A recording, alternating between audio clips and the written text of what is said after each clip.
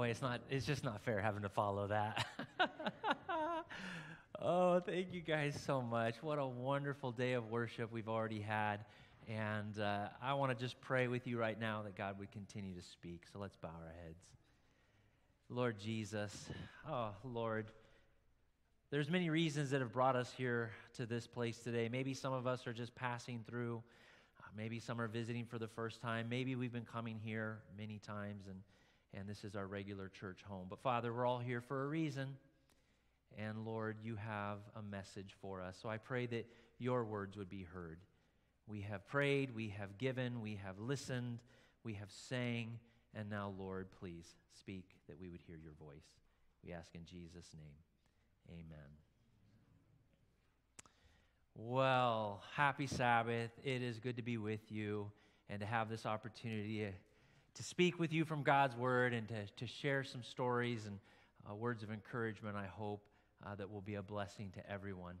In a way, this message has been 19 years in the making.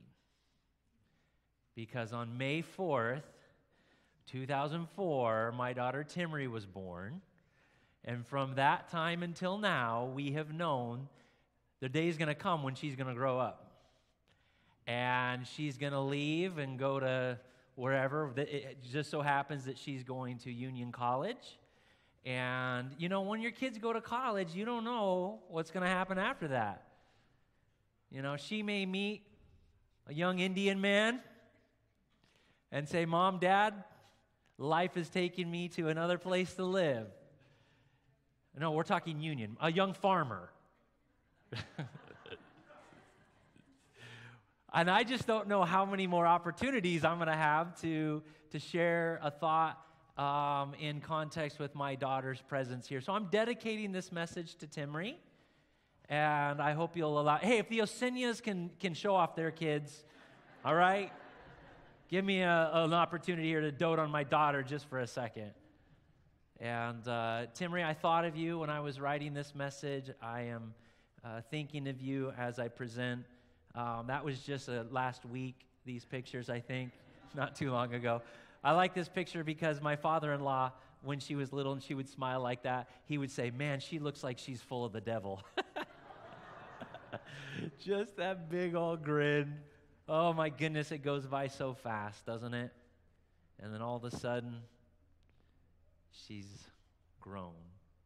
So, you know, with camp meeting and graduation, I just don't know. Uh, don't know how many more times uh, I'll be able to speak to my daughter. So, this is in dedication of Timry.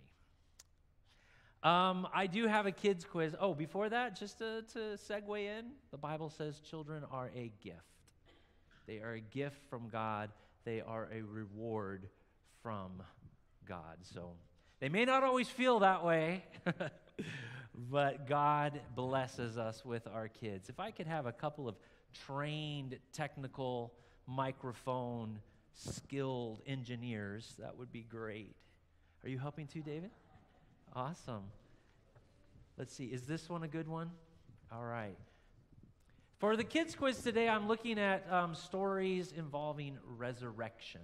So if you want to help out, raise your hand and we'll call on you. How many people does Jesus raise from the dead in the Gospels? Jesus himself raised from the dead. I see Adon in the back there. Toby's going there, David.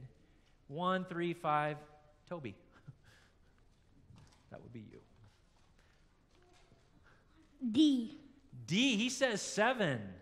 Good guess, but it's not D. And if you don't know, obviously it's a guess. All right, Dylan? C. Is the blue one working? Or? C. Oh, yeah. Go ahead, Dylan. I want to hear your C. voice. C, five. Nope. not C either. So we've narrowed it down. We've done the 50 50 now. I see. Oh, uh, Anna. A. A. We're bouncing around it. It's not A, it's not C, and it's not D. So, it's B. Andre, you're so intelligent. Man, how you have learned your Bible. I love it. You know, we get the idea that Jesus, uh, and I understand Adon, you know, going with D, we get the idea that everywhere Jesus went, he was just doing miracles and raising people left and right. In reality, it wasn't that many. It's only three that we know of uh, that the, the, the gospel records. And of course, I'm not talking about those who raised at his, at his resurrection. And there were some other resurrections um, that are referenced in the gospels, but three stories that the gospels tell us about. So now let's t- talk about those three in the next couple questions. Who did Jesus raise from the dead during his own funeral? I mentioned this last week, actually, in my sermon. So we're really going to find out who the good children are right now. Who did Jesus raise from the dead during his own funeral? All right, Andre's got his hand up. Lazarus. No, it's not Lazarus. Yeah, don't listen to mom. She'll lead you astray, apparently. No, I'm just kidding. Oh, was it? Come on, young people. Dylan, are you raising your hand or are you scratching your head? Mom, Dad, you can help out. I'll give you a hint. It was a widow's son. Wow, we're really struggling with this one. There's only three of these stories. Wow. Come on. Help out. Somebody help out. All you teens in the back, you count. Yeah, I see Ezekiel's head snap up. Oh, is he talking to me? All right, Denise, you want to help? The son from the widowed woman. She was a woman, you're right. Oh. And she had a son. Where was she from? That's the word. You remember the name of the town? Okay. Okay, Isaiah, la- last chance. We're going to give Isaiah. Oh, hang on, boys. Just a minute. Widow of Nain, thank you. The son of the widow of Nain. It's not, it, it, it is one of those stories that passes by somewhat quickly when you read it in Luke. I can understand if it's not one of those major stories, but it is a resurrection. All right, um, Jacob and Owen, you're going to help us out here. Who did Jesus raise from the dead after his funeral when he was already in the tomb? All right, Jacob. Lazarus. Lazarus. Sorry, Andre. Yeah, that was where you were thinking first. But that was Lazarus. He's already buried, already in the tomb. Funeral's over, and Jesus. That's the more dramatic one we think of when we think of resurrections. This is the one we reference most during uh, funeral services, the hope of the resurrection, things like that. Last one. Who did Jesus raise from the dead before her funeral when she was only 12 years old? Kind of, kind of know the context of this story. We don't know her name, but who is she? All right, I see Abel. Jairus' daughter. Man, did you hear it? Sorry, Dylan. I, I think I think Abel got it. Jairus' daughter, 12 years old. Don't know her name, never given, but we know her father's name is Jairus, and she is the little girl that's raised when she's 12 years old. Last question. To that little girl, Jesus said the words Talitha kum. That's where the sermon title comes from. In the Gospel of Mark, Jesus says the words Talitha kum. And then he translates the words. What do those words mean? Is it I am the life? You are healed. Be free and live. Or little lamb, arise. All right. Give it, give it on a chance. A. It's not A, Abel. B. It's not B. Owen? D. Owen is correct. Talitha kum. It is, it is a, oh, and David, Toby, wonderful job. Thank you for, for doing that. That's the end of the quiz. We'll talk a little bit about it. It's not specifically what it means, but it is a colloquial phrase used in the Aramaic that Jesus speaks to the little, to the little girl that means something along the lines of little lamb, arise or get up or awake even. So that's the story I want to look at with you today. So, um, we're going to look at this story from the Gospel of Mark. I'm going to give an overview of the story to make sure we kind of understand the quick context of it. Then I want to get into the story itself with you this morning. And then what does it mean? What is the message? How do we apply it to our lives today? What, what is uh, uh, the blessing that God wants us to think about, or a blessing that God wants us to think about in connection with this story? So I'm going to jump right into it with the overview. This is the only resurrection of Jesus that takes place in all three of the synoptic gospels Matthew, Mark, and Luke. All of them record this story. Luke is the only one that references the widow of Nain, and John is the only one that references Lazarus. So it's interesting how the Gospels record this story, just in general, to note that. Um, And it's also important to note that this story of the raising of the little girl is always in connection with the woman who had the issue of blood as well. If you remember the story of the woman, she had an issue of blood and she thought, if I just touch the hem of Jesus' garment, I'll be healed. So if you remember that story, that is what precedes Jesus. He's actually with Jairus at the time.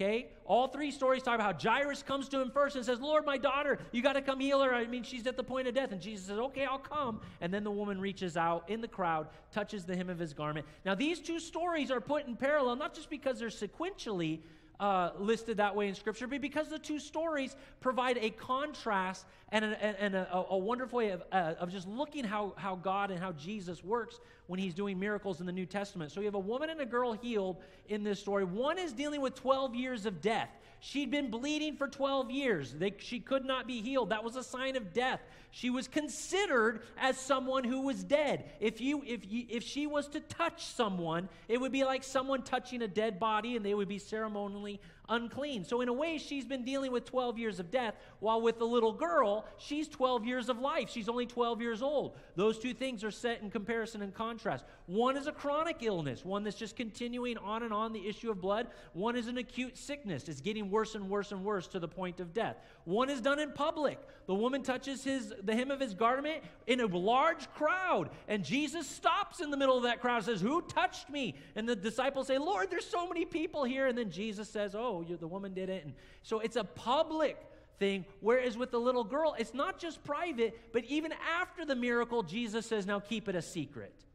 So you have these two things. Why is one in public? And even the greater miracle, that of resurrection, you would think that would deserve even more public announcement. But in that case, Jesus says, keep it private, keep it um, secret. One is the touch of faith. The woman, without even talking to Jesus, without even asking for him, uh, she just knows because of her, her understanding of Jesus, if I just touch the hem of his garment, if I just touch the tassel that hangs down, I'm going to be healed. So one is a story of a touch of faith, while the other is a story of a touch of mercy. When Jesus comes to the little girl, she, he takes her hand and he blesses her and speaks with her. And then both involve the words of Jesus in connection, and those two words after the miracles or before the miracles are significant. So, these stories, uh, the reason why it's important to have an overview of this is to understand the context and that realize that these two stories are related. But I'm going to focus more on the little girl, okay?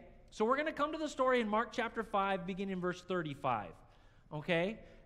So, knowing all of these things that have happened, Jesus is on his way to Jairus' house. The woman has touched him. He said, Who touched me? I felt power go out from me. And the woman says, Oh, it was me. And, and he says, uh, Your faith has healed you, O daughter. Um, you're now healed of your affliction. Okay. So, Mark 5 35 says, Now, while Jesus is still speaking these words, while he is delayed, while he is speaking to the woman, they came from the house of the synagogue official from Jairus' house saying, your daughter has died. So, literally, what Mark is saying here is in the time it took for Jesus to bless this woman, to be touched by the woman, and to stop, during that time, Jairus' daughter dies.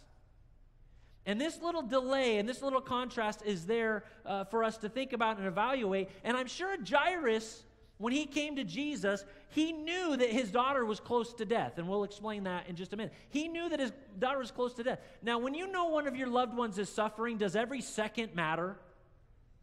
You know, and you've heard the saying before when seconds matter, uh, you know, the police are minutes away or something like that, right? You can imagine that while Jesus stopped, so Jairus is with Jesus, okay? And they're going to his house, and he's like, Come on, hurry up, Jesus. I mean, it's so serious, it's so significant that when Jesus stopped, it bothered Jairus.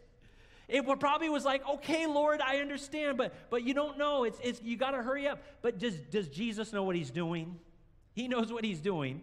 But in the time it took Jesus to stop, and the time it took him to say, okay, who touched me? And oh, the crowd is pressing around. You can read those few verses in 15, 20 seconds. But in reality, it was probably several minutes. And those minutes must have tortured Jairus. So while he's still speaking, they come from the house of Jairus and they say, I'm sorry, but your daughter has died. And I'm sure that was just a devastating moment to Jairus. And then this statement is made Why trouble? The teacher anymore. Very interesting. Why trouble the teacher? Okay, they believed that a teacher sent by God could do wonderful things. And they probably heard many of the stories. Jairus clearly believed that Jesus had, had the power to, to, uh, to, to bless and heal and, and um, uh, cure the sickness in his daughter. But the synagogue officials, or excuse me, those who came from the, his house, obviously didn't understand who Jesus was because they thought, you're troubling him, and there's now nothing more he can do. You see, teachers and those sent by God, they can heal and they can bless. Priests can bless. All right, prophets can prophesy, but no one can deal with death. Once death comes, there's nothing that can be done. So, why trouble the teacher anymore? I just want to tell you, on a side note, you will never trouble Jesus with your requests. Jesus is never troubled by your needs. Do you hear that? Do you believe that? Jesus is never troubled. That's why he was not in a hurry, by the way. You know, Jesus is a busy guy in the Gospels, but he's never in a hurry. I wish I had that. Do you ever feel like your life is just totally in a hurry? Jesus was never in a hurry. Busy, lots of things to do, but he's not in a hurry. Why trouble the teacher anymore? But Jesus, overhearing, overhearing what was being spoken, said to the official, Do not be afraid any longer, only believe. Do not be afraid any longer, only believe. And it's almost like Jesus making the statement that doesn't stop me from doing what we're going to do here. I'm not afraid of death. I know what the answer is here. Don't be afraid. Believe. Don't be afraid. So that's a beautiful promise from Jesus. And he allowed no one to accompany him except Peter, James, and John, the brother of James. Now, the thing that's important to note here about Peter is Mark is not here in this story. Okay, Mark was not one of the disciples. He may have been among a larger group that was, you know, aware of the workings of Jesus, but Mark was not a first uh, firsthand witness to this story. But Peter was. And historically, we have come to understand that Mark was probably a follower or a disciple of Peter. And he gets his information about the Gospels from Peter. So, in a way, Mark is the Gospel according to Peter. Okay? So it was Peter who was there. It was Peter who saw what happens next. And it's Peter who tells Mark about this story that Mark would later write down. Okay? So that's why it's good to know because this is a very private moment that comes up. So they, they came to the house of the synagogue official and they saw a commotion and people loudly weeping and wailing. Now, this is important to understand a little bit of the cultural context of mourning among the Jews in the first century. These people that were weeping and mourning, they were not relatives, they were not neighbors or close friends. These are paid Jewish mourners.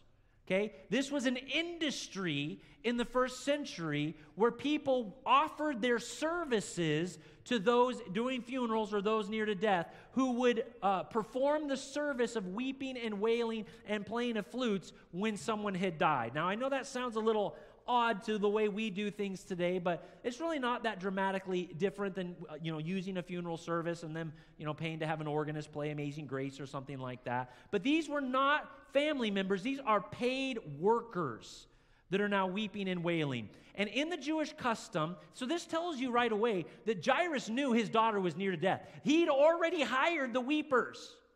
He'd already hired the flute players. They're already in his home, likely before he even went to see Jesus. Okay? And there's lots of uh, anecdotes and, and hypotheticals about why Jairus went, why he didn't send a servant, and all that. But I want you to just to know that there, there is a highly orchestrated process of grieving among the Jews during this time. You would hire weepers, hire flute players, so that at the moment of death within the Jewish community, a large wail would go out throughout through the home. Women typically would offer a loud wail that would last several minutes, by the way. Two, three, four, even five minutes, there would be a loud wail in the house of someone where someone had died. And this was a way of letting the neighbors in the community know that something dramatic and drastic and terrible has happened in the home. Then the flutes would play. Matthew talks about the presence of flutes in this story. The flute has always been associated, I'm not, not to say that our flute players that play in the, the school bands don't have uplifting, wonderful sounds, but flutes have along, because of the sounds and the wails that you can make with the flute, has often been associated with grieving. Even today, uh, uh, bagpipes You know, whenever you think of a funeral, or even in movies, whenever they play Amazing Grace to make it uh, dramatic, uh, it's always bagpipes played because they create such a mournful sound to them. So the flute players are there, the weepers are there. In Jewish custom, there were several different rules about how to rend your garments to show that you were grieving. I'm not going to go into that to, uh, right now. During the period of grieving, um, and again, just to understand the culture, you were not allowed to read the scriptures. You weren't allowed to read the Bible when you were grieving because the rabbis taught that the very act of reading the scriptures was an act of joy. And you can't do an act of joy while you're grieving. So it's interesting. However, you could read Job, Jeremiah, and Lamentations. You were allowed to read those uh, because those are, those are sad books. So you could read those. They also had a very interesting custom. And again, just to show you how orchestrated and, and detail oriented they were when it came to death and grieving, they had a custom in the first century. In the house of someone had died, after they had died, you would have to pour out all your water, and everyone within a three house radius around you would also have to pour out their water. And the reason for this was a legend and a myth that when the angel of death came to, do, to deliver the death blow to those who died, he would dip his sword in water to purify it before he made that strike.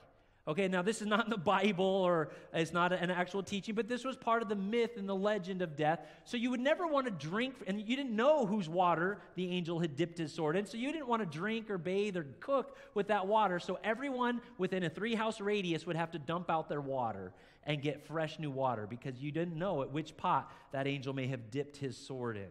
Very interesting. So there is all of this built into the thinking, all of this built into the culture of death and grieving. And when Jesus comes into the house, he sees a commotion, he hears the flutes, he hears the wailing, and he says this Why make a commotion and weep? Now, there are things that Jesus does in the Bible that at times we say, now that's just kind of mean. That's really not fair. Uh, you, you, heard someone ever use the phrase um, Captain Obvious, right? Why make a commotion? It doesn't fit in this context. Anyone standing by there would have been like dumbfounded and like, um, because a little girl just died. What kind of question is that, anyways? It's very similar, I, I, think, to when Jesus is with his disciples on the Sea of Galilee and the great storm comes upon them and they're all afraid and, and they say, Jesus, you know, don't you care that we're perishing? And Jesus asks the question, Why were you afraid? Right? Um, because there was a storm. What kind of question is that? Why were we afraid? But you know, every time the Lord asks a question, Old Testament, New Testament, anytime he asks a question, it's because he's wanting us to think right? And in the connection with the storm, Jesus was trying to tell them, Why are you afraid? Don't you know that someone greater than the storm is with you? Have I been with you so long that you haven't? I'm greater than the storm, right? And so when Jesus asks this question, it's kind of, again, it's not him just kind of poking, poking the bear, just kind of trying to be obnoxious. He's saying, Look, someone greater than death has just walked into the house. I am here with the power of life. I am the Messiah. There's no need for the commotion. Now, obviously, they didn't understand that, but he even says, goes further and say, Why weep? Now, I want to be careful on this because some people have come away from this story and said, You should never cry then at a funeral. Jesus said, Why weep? But don't forget that Jesus himself wept at Lazarus' tomb. So, this is not a universal statement. This is a moment in time where Jesus is trying to make a dramatic uh, a pronouncement about who he is. And in the presence of Jesus, in that moment, knowing who he is, Jesus says, Now is not the time for commotion and weeping because the power of life and resurrection is within me. And we're about to see that manifested. And then the next thing Jesus says can also be confusing at times again, at first glance, it almost looks like a like a lie. The child has not died. Now, had she died, if she hadn't died, it wouldn't have been a resurrection, right? She had died. But Jesus says, from the viewpoint of heaven, from the perspective of the Father, from the perspective of eternal life, the end has not come for this little girl. This is not the death that is the final death. This is more like a sleep. This little girl has not died, but she's asleep. In the eyes of heaven, in the eyes of the Messiah, this little girl has not died. She can be awakened. And of course, they don't understand what he's saying, and they began laughing at him. This is not a nervous kind of laughter, this is a mocking, scornful laughter. You are a fool. You don't know what you're talking about. You have no place here. They began laughing at him. But putting them out, he took along the child's father and mother and his own companions and entered the room where the child is. So he enters into this very private, secret moment with the little girl that we don't even know her name. And it says, taking the child by the hand. So it shows a level, Jesus doesn't just stand over the bed, you know, in great proclamation. This is a very intimate moment. He does what is unceremonially uh, allowed. He touches a dead body, making him impure, so ceremonially impure. Of course, he himself is purity. So he cannot become ceremonially impure uh, in, in an eternal sense. But he takes the child by the hand and he said to her, Talitha kum. Now, I imagine, and, and Mark knows that he's now writing in a different language. That is not Greek anymore. He's now made an Aramaic phrase, and then he translates it for the benefit of those who don't know Aramaic and are reading this in Greek. He translated, Little girl, I say to you, get up. But I imagine when Peter was telling this story to Mark, he was like, Mark, I'll never forget that moment. I'll never forget the words that Jesus spoke. And I'm not going to tell you those words in Greek. I'm going to tell you those words in Aramaic.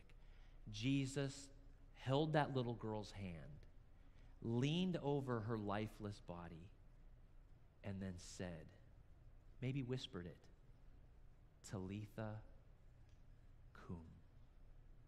Now, I just want you to try whispering kum. And it almost requires you to deliver a puff of your breath to say it.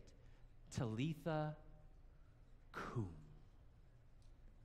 And as the air and words and breath left the body of Jesus and washed over her body, touched her flesh, the word of Jesus, the breath of Jesus, the life and resurrection of Jesus entered into that little girl. And Mark says, immediately the girl got up and began to walk because she's 12 years old. And immediately they were completely and naturally and understandably astonished. Talitha kum. Those were the exact words, not the translated words, the exact words spoken by Jesus to resurrect a 12 year old girl. Now we step back and we say, that's a lovely story. This is chicken soup for the soul. I love it. Jesus blesses a little child. He raises up the dead. My, oh my. Love it. Thank you, Jesus. I'm glad for that promise that you have the power. Should I need it, should that experience come into my life, I know exactly where to go. Or should we all perish one day before your return, you, O oh Lord, have the power to resurrect, and I want to be among those who are resurrected. And all those sentiments are fine, all those sentiments are true. But I think there's even more that God wants us to appreciate and understand about this story. It's not just about a little girl coming back from the dead. What is the message today? How does it apply to me?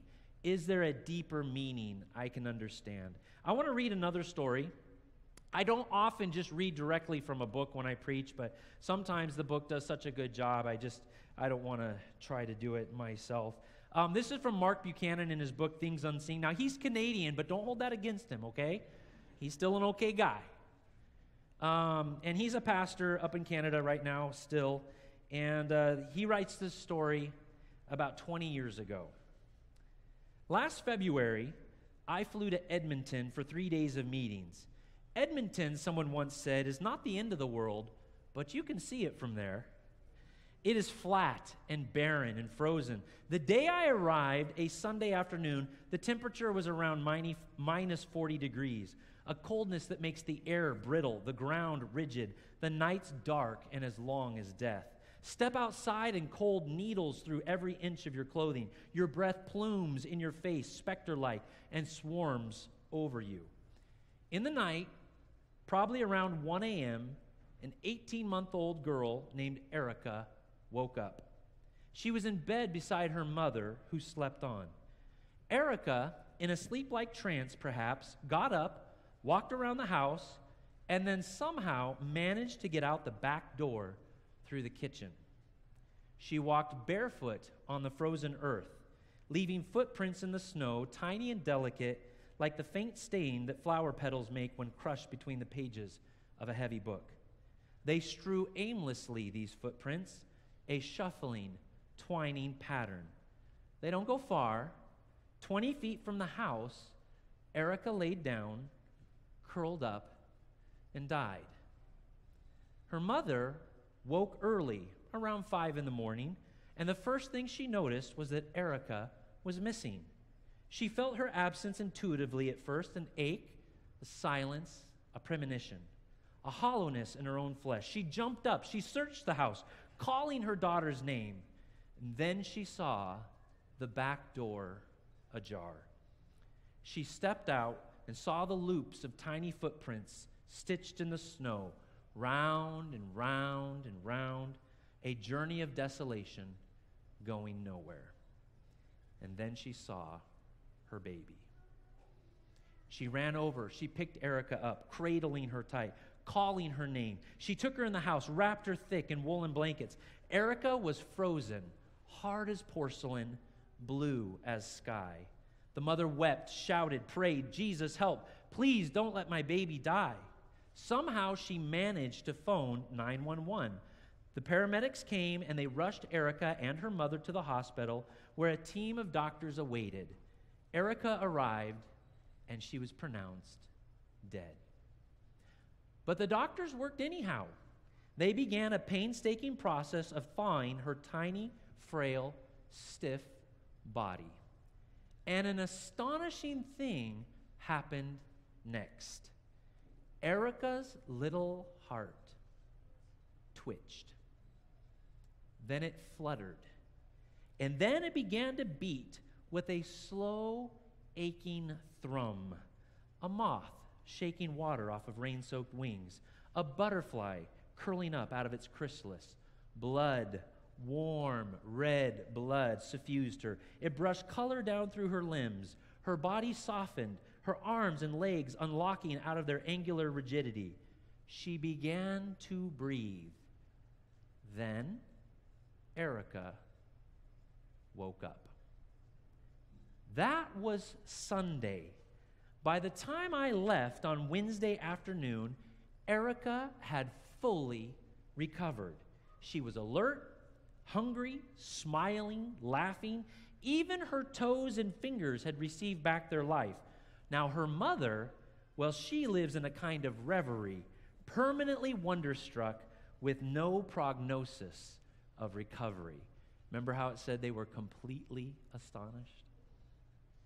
Now, I imagine that the moment Erika's heart started again, everything was forever altered. And I don't mean this in some kind of mawkish fairy tale sense. I know that Erika's mother will have moments of aggravation and anger with her daughter, have experiences typical to all parents, wishing that her girl would shut the door without slamming it, or that she'd clean her plate before leaving the table. But I doubt that she will ever kiss her Erika goodnight again without a rush of dread and thanksgiving sweeping over her. Hmm.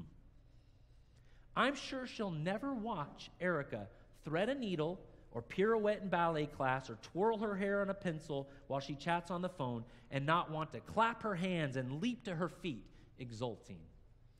I imagine that both mother and daughter will forever carry a sense of destiny. Erika will grow up hearing the story over and over. You died and came alive, dead as stone, but even the stones shall sing. Her mother will remember all this, treasuring it in her heart, shouting it from the rooftops, even into her decrepitude.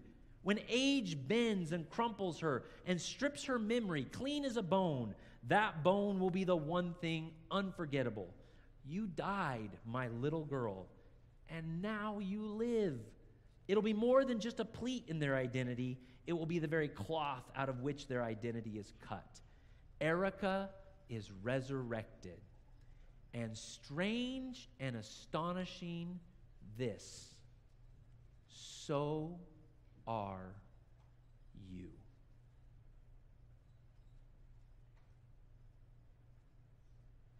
So are you. This isn't just Erika's story, and it's not just Jairus' daughter's story. It's our story. By the way, that's Erika 10 years later, Erika Nordby. She's known as the Miracle of Canada or the Ice Baby. That was at the 10 year anniversary of her ordeal. There's only four or five cases in all the pediatric, pediatric literature that are similar to hers. A true miracle. The Bible says, You were dead. You were dead in your trespasses and sins. And the Father went out and found a Savior and called him to you and brought Jesus into our experience because of his great love for his children. The Bible says, You have died and your life is hidden with Christ in God. You say, well, Pastor, that, that's different. These are literal things, and these, this is now spiritual. Well, which is more important? Your spiritual life or your physical? That's why Jesus said in the boat, Why were you afraid? Someone greater than the storm is here. Why do you weep and have commotion? Someone greater than death is here. You have died, and your life is now hidden with Christ in God. He goes on to say in Ephesians, For this reason it says, Awake, sleeper, and arise from the dead. Oftentimes you'll read commentary say, Oh, this is talking about when Jesus comes again in the second coming. That's not accurate.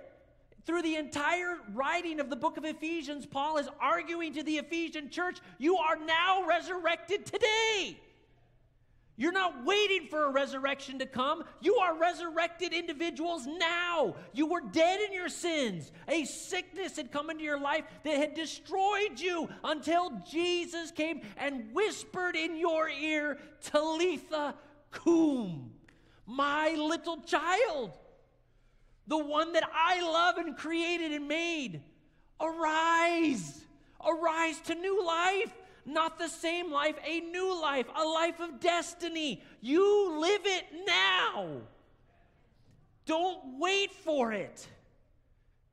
Jesus Christ illustrated for all of our purposes his power and his plan. These incidents change our perspective in our world. All of us live a life of destiny, having passed from death into life now, today, by faith. If you have heard his voice, if you have opened your heart, if you have asked for him to come into your life, then he has said, Talitha kum. And you don't live the same life anymore live a resurrected life now. Not then, now. The Bible says that, Paul says that we have been crucified with Christ. And it's not our lives that we live anymore, but we live in Him. Our whole experience with Jesus Christ is based upon the reality that we are no longer living in the death of our sins, but that we have felt his touch, that he has taken our hand. while others may weep at our demise. Others may mock at the prospect that there's ever a chance that we can be redeemed and raised up. Jesus says, I am the resurrection and the life. I have a power. I have the plan. I have been called by the Father.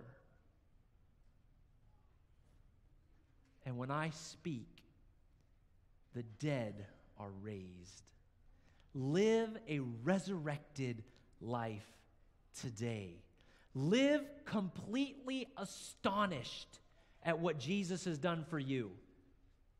If you are finding yourself in your Christian walk bummed out, stalled, lifeless, listless, this story screams from the pages of Scripture. Live life astonished, permanently wonderstruck, is what Buchanan said about Erika's mother. Permanently wonderstruck at the miracle that God has done. Each and every person who's accepted Jesus Christ, you are twice a miracle. Once when God created you from the mind and creativity of God and your mother's womb and brought you into existence. That is a miracle. But you are secondly a miracle in that God has also removed the stain of death and sin from your body, and He has resurrected you to new life. You are twice miracles. If that does not make you completely astounded, friends, let's talk. Let's reintroduce you to the Jesus who does miracles. Listen to Jesus say, Talitha kum, to you. Reach out to him and say, Lord, I don't feel that life. I feel like the death is just right there still. The sins and the doubt, they're starting to overwhelm me. But when you read the story of a little girl, put yourself there and let yourself feel his breath on your face and hear the words of Jesus Talitha kum my little child, my little lamb. It's time to get up. It's time to arise. There's still life, there's still destiny. And I want you to be with me forevermore in eternity. Next time anyone asks you, what does Talitha kum mean? What are you going to say? We might just try that, Toby. Let's pray together. Would you bow your heads with me? Heavenly Father, Lord, all of us come to a point in our life of acknowledgement and enlightenment and opportunity and hope to understand what you are calling us to. I thank you for my family and I thank you for my daughter. And I pray that she would always remember that she is made new in Jesus Christ, that she is your daughter, that you have redeemed her, and that you've given her destiny. And Lord, may that be all of us as well. Thank you for these wonderful stories. Thank you for the miracles that you do in our life. Help us to remember we live a resurrected life now. And all of our journeys will be different in that knowledge. We thank you, Jesus. We pray this in your name. Amen. God bless you the rest of your Sabbath day. We look forward to seeing you again soon. Remember, we will have services next week.